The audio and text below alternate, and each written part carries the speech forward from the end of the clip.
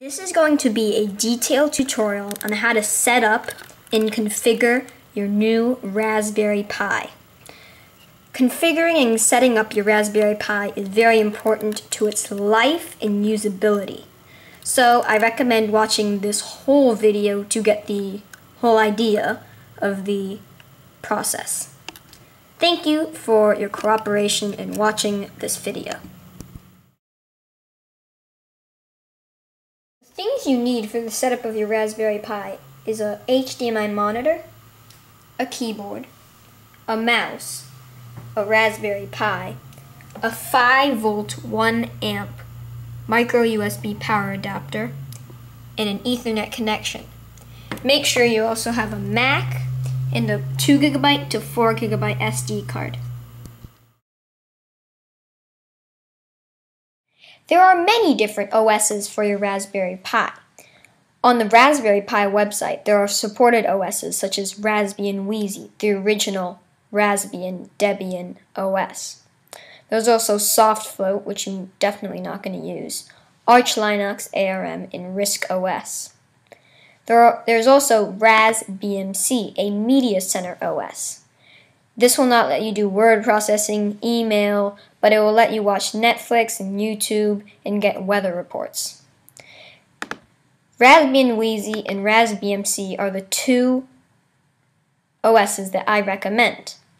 I recommend on RasBMC you use the network image or the standalone image to download your OS. I will teach you how to upload your OS onto an SD card.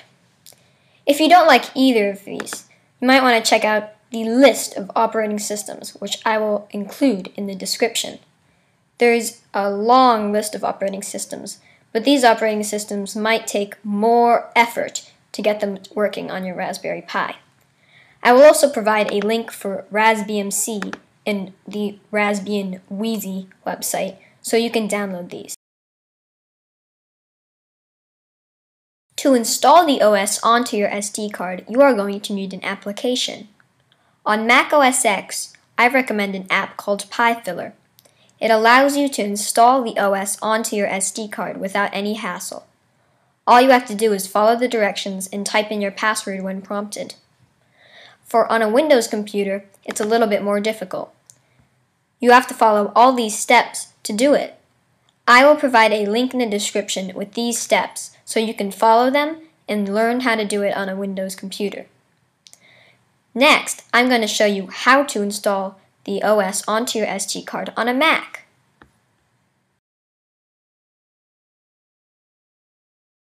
Now that you have downloaded the image file from a website, you have to put it on your SD card.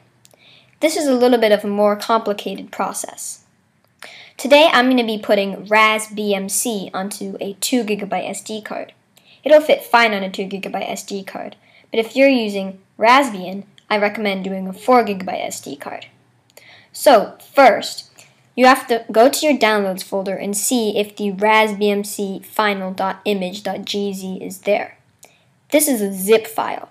You need to unzip this file, so what you have to do is double click on it that'll open this archive utility and it will expand this. Now that I have the image file, I have to open up my imager. I already told you that I prefer PiFiller, so that's what I'm going to use today. PiFiller will assist with copying a Raspberry Pi operating system available at blah to an SD card. If you have already attached your SD card to your Mac, please eject it before continuing. Now we have to choose that RasBMC final image. So I'm going to click on it and choose it. Make sure you don't choose the, the zipped file, which would be the, the .gz or the .zip. Make sure you choose the image file. Please insert the SD card you want to use for the Raspberry Pi. As I said, it should be at least 2 gigabytes preferably 4 gigabytes, and it will be completely erased. They recommend you name your SD card Raspberry, but I don't really care because I already know what mine's called. I inserted it and I'm going to continue. It's looking for my SD card. My SD card's called Untitled. This is really my SD card, so I'm going to click Continue. You're about to erase your SD card and copy the Raspberry Pi operating system to it. This process may take 30 minutes or more. When it's done, PiFiller will notify you. All I have to do is click Erase SD card, type my password in, and wait. It'll give me an estimated time, and when that estimated time comes up, then all I have to do is wait, and when it's done, plug it into my Raspberry Pi and set it up. That's all you have to do. It's that simple. I'll come back to you with the booting up and setting up of the Raspberry Pi. The next step after you have installed Debian or XBMC on your SD card is plugging all the cables in. So, I'm going to plug in my HDMI cord. Then I'm going to plug in the Ethernet cable into this back port. The little prong goes down. Then I'm going to plug in my keyboard into the back USB port and my mouse into the top one. You don't have to put them into the back and the top, it's just how I like to do it. Then, I'm going to leave the power cable until we boot it up. The boot, to boot the Pi up, I'm going to use my preferred operating system, Debian. And take the SD card out and insert it into the SD card slot on the front of my Raspberry Pi. Note that the SD card goes in with the prongs and these golden things faced up. Now that I have plugged the SD card in, I'm going to plug the power supply in. The lights will light up on the Raspberry Pi and you will get a multicolored screen. Then text will begin rolling down the screen. This is a long process and I will come back when it is ready. Now that the text has finished rolling down the screen, you might notice it says Raspberry Pi login. The login is Pi, so you type that in. Then you wait a sec and password comes up. The password is raspberry. It won't show up, but if you type it in right and click enter, text will start coming down the screen. Then you will see a dollar sign. Type in start X and click enter and wait to see what happens.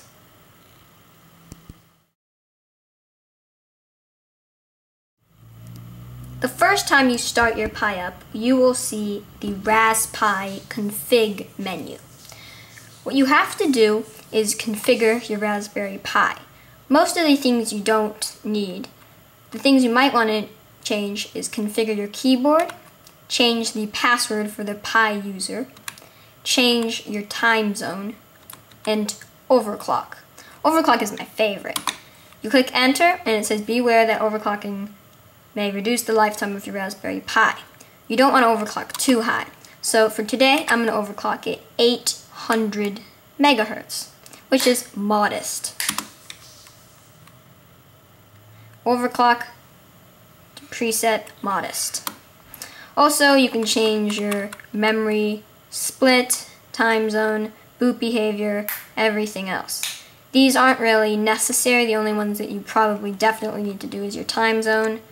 If you want your password, you can overclock if you want, and definitely configure your keyboard. When you first get your Pi, you're definitely going to want to uninstall and install some better apps. For example, I got rid of the web browser Midori and replaced it with Chromium. I'm going to teach you how to do this next. To do this, you're going to need to open your terminal labeled LX Terminal. To install an app, you're going to type in sudo. You're probably going to need to type in sudo on the beginning of most terminal commands because it signifies you as a super user or the king of this operating system. So to install an app, you're going to type in sudo apt dash get install and then the app you want to get. So, for example, to install the Chromium web browser, you're going to put sudo apt get install chromium eh,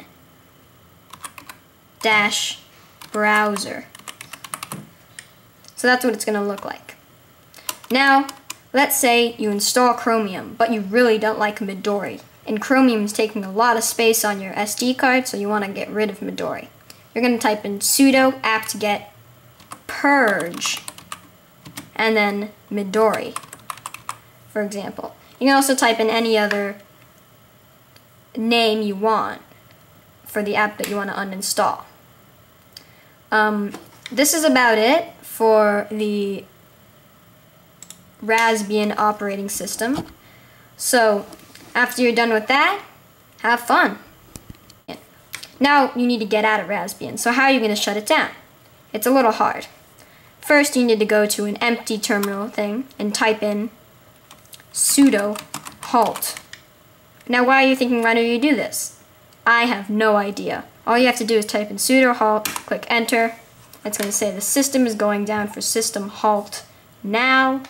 And then you wait until it turns off. Then you can unplug the power in the SD card and then I'm going to teach you how to do the RasBMC system next. Now let's learn about the RasBMC operating system. This is the Media Center operating system for a Raspberry Pi. There are many things you can do such as videos, which opens up a whole new thing. Now, you're probably thinking, hey, I didn't install this with videos. Don't be worried, there's video add-ons. For example, I've already installed the YouTube add-on that let me watch his YouTube videos. There are many more add-ons, such as, let it load? Vimeo, Netflix, I mean, really, all of these. I have no idea what half of them are. It's pretty crazy. The best thing to know is when you want to return home, press escape. It brings you right back. The coolest thing I think is the weather. This syncs off of Wi-Fi and gives you forecast information. It's going to give you some blank information until it connects to the internet and then it will be updated like that. There you go. Um, there's also videos, music, pictures, and programs. The only program I have is RasBMC Setup. Not really cool. Um, videos and music fall under the same chart that I showed you with like that YouTube thing. So it's basically really simple to use. Um, unlike RasBMC, you actually you can turn it off like a normal person. Click the power button, power off system, and then wait. And it turns off super fast. Then all you have to do is unplug the power cable and unplug the SD card and you're done.